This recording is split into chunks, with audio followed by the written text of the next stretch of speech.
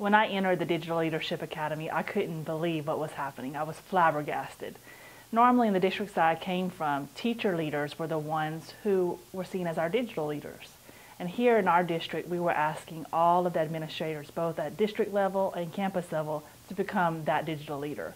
But I could totally see right away how becoming an instructional leader and a digital leader at the same time merged together perfectly. So it made perfect sense to me.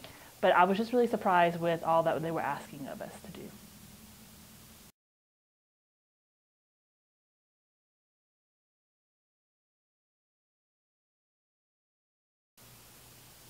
Within the first three hours of the Digital Leadership Academy, I walked away with three new skills, and those were tweeting, blogging, and creating a Weebly.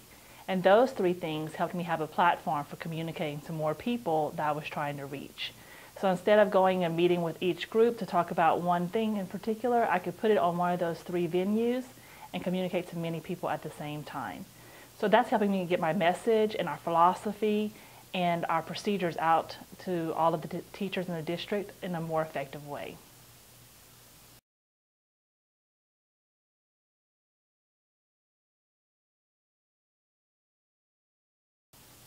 One of the main things I do here in the district is to plan with teachers. So we sit down and we map out our curriculum for a unit at a time. And while we're doing that, we look at the standards and we figure out what we need to teach. We think about what our delivery might look like and what kind of activities the students might do.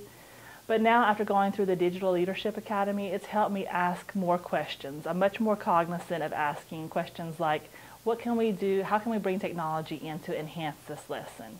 Some examples are instead of having the kids write in a reader's response journal, they might blog their ideas instead. So what we're trying to do is think about what skills they might, may need in the workforce and bring those into the classroom while the teacher is there to support them.